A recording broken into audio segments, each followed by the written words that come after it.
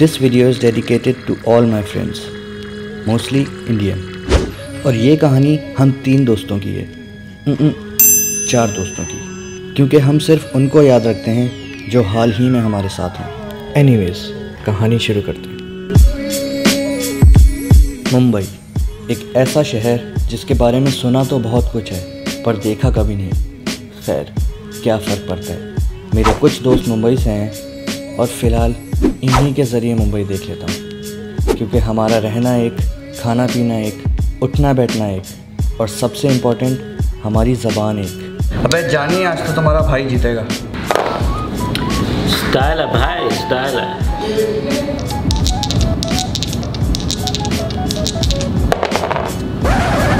ये बाबूराव का स्टाइल है। हर ग्रुप में एक फेवरेट बच्चा होता है और हमारे ग्रुप का ये है फेवरेट बच्चा। हम सब बहुत खुश थे और यही वक्त देख के बिलाल ने सोचा कि मौके का फ़ायदा उठाया जाए।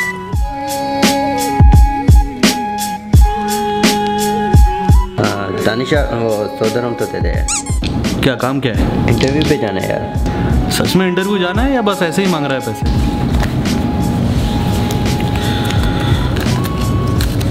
ले भाई जीत के आ जा।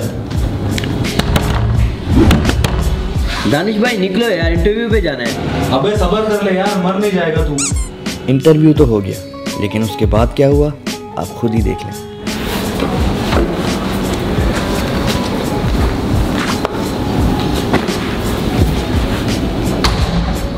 क्या हुआ बिलाल? कैसा रहा इंटरव्यू फेल हो गया यार। खाना खिला देता ना अगर तू। पास हो जाता। भूख भूखों की तुझे दुआ लगती। क्या मज़ाक नहीं हो रहा है यहाँ बंदे की जॉब नहीं लग रही हो तुम लोग हंस ए भाई भाई भाई हंस मत हंसो मत हाँ, हंसो मत। बिलाल ये अपना हारिस है। ये ब्लॉगिंग करता है ठीक है? इसके ब्लॉग में वो तेरे को ले लेगा तो सेलिब्रिटी बन जाएगा। कहाँ जॉब वॉब ढूंढ रहा है?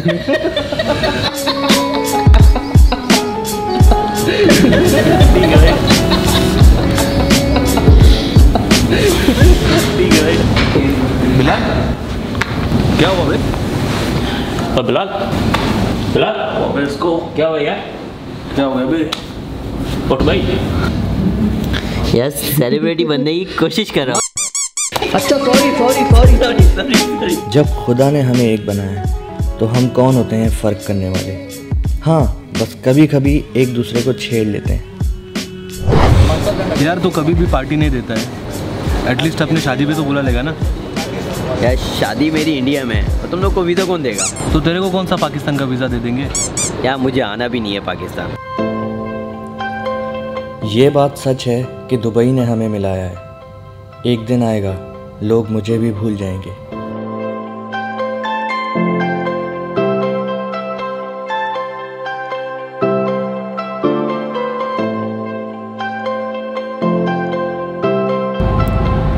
क्या वारिस?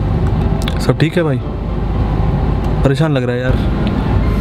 मैं पाकिस्तान जा रहा हूँ। चल अच्छा है यार थोड़े दिन का हमको सुकून हो जाएगा यार। क्या हुआ भाई? सब ठीक है ना? एक काम है। वापस कब आएँगे? शायद ना आऊँ। और ये बात समझने में आपको थोड़ा वक्त लग जाएगा कि एक दिन हमें अपने अपने मुल्क चले जाना है। और दूसरों का मुझे नहीं पता, लेकिन मैं अपने हिंदुस्तान के दोस्तों को ज़रूर याद रखूँगा। गलियों के आवार कुत्ते।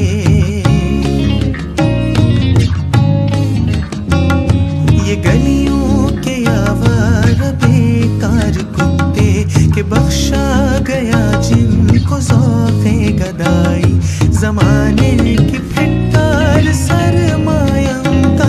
जमाने की फिटकार सरमाया उनका जहाँ भर की धुतकार की कमाई गलियों के आवार बेकार कुत्ते। मेरा नाम हारिस है और मैं कराची से हूँ और कई लोगों की तरह यह है मेरी एक छोटी सी कहानी। जो बिगड़े तो एक दूसरे से लड़ा दो जो बिगड़े तो एक दूसरे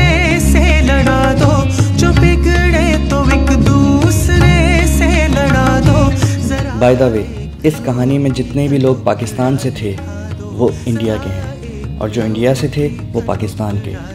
देखा, आप भी धोखा खा गए ना?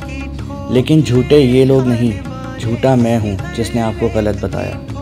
इसी तरह, बुरे हमारे लोग या हमारा मुल्क नहीं। बुरा वो है, जिसने हमें बुरा बताया। और हाँ मैं दुबई में हूँ, ये भी झूठ था।